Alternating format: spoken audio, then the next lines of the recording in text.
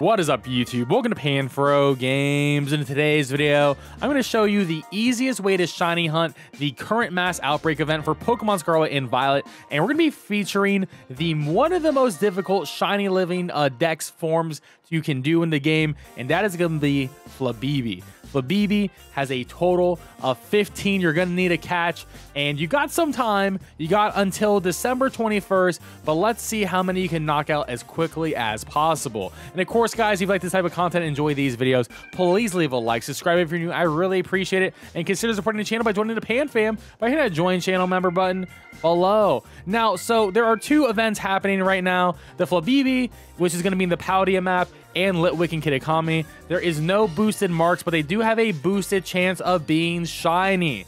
Now, on December 14th, Milcery will be in the Indigo Disk DLC, and you need to catch a total of seven of these for all the different shiny forms of Alcremie, and there's a total of seven different shiny Alcremies that have uh, actual visual differences to them. So you can do this same strategy with the Milcerys here. So one, let's talk about Flabébé, right?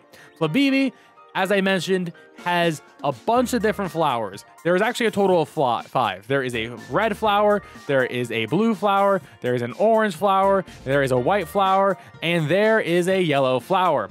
Now, the shiny isn't the easiest thing to tell. It has blue eyes instead of like the brownish eyes, brown black eyes, and its bottom is actually like this blue purple color, and that is going to be consistent on every single one of these. Now, of course, they all evolve and they keep the same flower. So if you want to get a shiny living dex of this Pokemon, you're going to need to capture three of each flower. 3 times 5 is 15. You're going to have to do 15 shiny hunts. Now, luckily, the mass outbreaks are popping all over the map, and they're all fairy types, obviously, they're the same Pokemon, so it's not too bad. Now, the shiny rate has been boosted, and it was a boost of 0.5%. So your absolute best odds here is if you have the shiny charm, you cleared an outbreak, which you should have cleared an outbreak to be fair, because you know they're all over the map and sparkling level 3 from a shiny sandwich.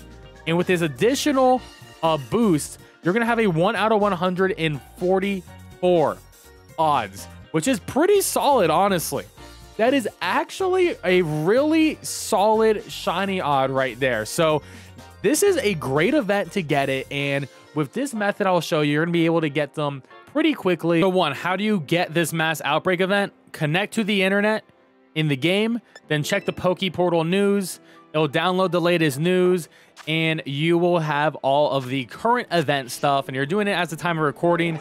You will be getting the Flabébés all over your map. And as you can see, they're going to be golden outbreaks, so you know these are the special ones. And they did fix it so that the color that is indicated on the map will be the one spawning, and those will be the only ones spawning, making it relatively easy to actually get the ones you need. Now, to actually do the shiny hunt. So one, I want to do a shiny hunt where I can hunt for an outbreak that is near a like Pokemon Center or a town. So I can do a town reset. Now, if you don't know what a town reset is, essentially when you walk into a town, it despawns everything and then you leave it, new spawns come back. It is a lot faster than picnic resetting, which is why I really like it. And it's the ultimate shiny hunting method in Scarlet and Violet.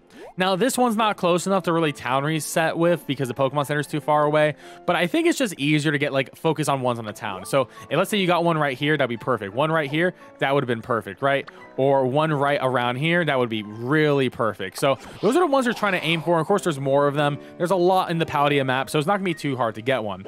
So I don't have a good one on my map. So what you're gonna do is you're gonna hit the home button. You're gonna go all the way to your system settings all the way down to system, date and time, and you're just gonna hit OK and back out, back out, and then go back. And then if you did it right, you should be getting new mass outbreaks on your map. And you're just gonna have to check your map again be like, okay, I got some new mass outbreaks. Are any of them where I want them to be? And there's probably a good chance you didn't get it on the first try, and that's a-okay. I mean, this one, uh, not good enough for me. So I'm just going to keep on resetting until I get one I like. Uh, just make sure you don't have this menu open when you're doing it because it's not going to actually show all the resets. So after a few resets, I found this really good mass outbreak right here. You can see it's right on the edge of the town, so I can just walk in and out of the town. So I'm going to take this one. Now, of course, you don't have to do this step that I did here. Completely optional. It just makes the process a little bit faster when you are resetting, and especially when you're at the beginning of your hunt trying to go for all 15 of the shinies. I think it's best to start here. But we got a yellow flower, so I'm going to try to get three yellows here as my personal goal complete my living shiny dex. So as you see, we got them here. None of them are shiny. But to further increase our shiny odds, well, one, I'm going to save my game here because we already did some work. And now we need to knock out 60. And I will say we need to knock out 60 before we even do a sandwich or anything like that because we don't want to waste our sandwich timer or anything. And it's just more optimal to knock out the 60. And it's very important to knock out the 60 because you get additional two shiny rolls when you do it. So I was knocking out 18 and I ended up getting a shiny right here. Also, if you didn't know, you can hit down on the D-pad to go into first person. But yeah, I got a shiny uh, just on 18 knockouts right here. Super easy stuff. Another way for you to easily tell if it's shiny if you don't really want to do the first person mode or any of that. You could very well just hit the auto battle button it's the wrong button there, but if you just hit auto battle, auto battle Pokemon won't knock it out. They can't kill shinies. So there we go. One shiny Flabebe down very easily. I mean, hey, we got lucky and I'll take it. That's what the power of the shiny charm does for you sometimes out here. Now that we have knocked out 60, we're going to go ahead and save our game. Very important that you save your game because you don't want to lose your 60 knockouts here. Now we're going to go set up a picnic. Can't do it in the town. You can do it outside of the town. And with this picnic here, we are going to be making a fairy type sandwich. Now, fairy type sandwiches are incredibly easy to make. And in most cases, you can really just do one tomato and any two Herba Mystica. Any two Herba Mystica will work. However, if you want to make a fairy type sandwich that does not have encounter power, and I'll say encounter power is not good in terms of outbreaks because it doesn't make the outbreak spawn any better, but it does make it so other Pokemon spawn that can take away from your outbreak. So I would not recommend it. So I recommend one tomato and two of the spicy herbs if you have that option. It's very nice because we're going to make sure no other fairy type Pokemon are boosted. I don't want to deal with that. And of course, these sandwiches are incredibly easy. Now, if you don't have Herba Mystica, then you can just skip this step entirely. It is not necessary. It does drastically increase your shiny odds for the next 30 minutes, and you definitely want to optimize it. However, if you don't have it, it's fine. You're still going to have great shiny odds in this event, whether you have this sandwich or not. And with the one tomato, two spices, I have Sparkling level three, Title level 3, and Humungo level 3. So there's a good chance that these Flabebes will be bigger, which is always great, honestly. It makes it a lot easier to see if they're going to be shiny or not. So now for the shiny hunt to actually begin. So these Pokemon actually won't attack you or anything like that. So you can do what I call a run up method to each one and just look at them and see if you see a blue part on their chest and they will actually eventually follow you as well. So if you can just like circle up around them all and then bring them up to the town reset edge, you're going to be able to just to very easily see them all at once and be able just to look at them in the first person by hitting down on the D-pad. Be like, okay, you're not blue, you're not blue, you're not blue, you're not blue. All right, and you know, get saw a good amount of them. Of course, you could be more thorough than I'm doing right here, but I didn't see a shiny. Hit town reset. They all despawn. Make sure to despawn before you come back. And now they're gonna be spawning up in this area. So we're gonna once again keep on doing this, running around, looking at each one, and just trying to see if we can get that shiny. Of course, they are small, but you know, we are using the thing that makes it so that they're going to be at least a little bit bigger. So, you know, it could be a lot worse, which is why I recommend this sandwich to make it a lot easier. Honestly, if you are playing on a handheld Switch, this is definitely going to be a lot harder. I'm playing this on a TV, so I'm a little bit privileged in that regard. But, you know, either way, it's going to be a brutal hunt but, you know, once again, you rack them all up. You got a good amount of them. Go into that first person mode. You're like, okay, I made sure that none of you guys are shining. Then you guys got that blue base, blue eyes. Okay, and you're not blue either.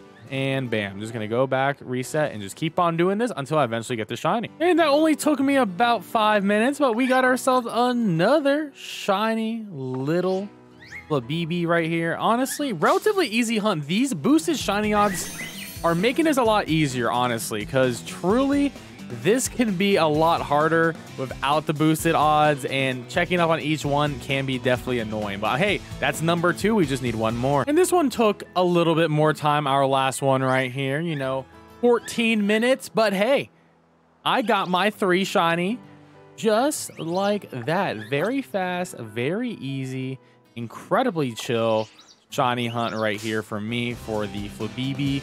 And honestly, you just got to keep on doing this for every single one if you want to have that living shiny dex. Or if you don't care, then you got your three, you're good to go. You got your living shiny dex for that one color, and that's good enough as well.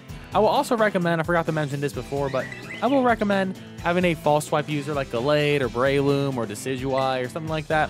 Always nice to have a false swipe user, knock them down to one, and then you put them as put them in a very pretty Pokeball, whatever you like. Maybe a ball that will match each color.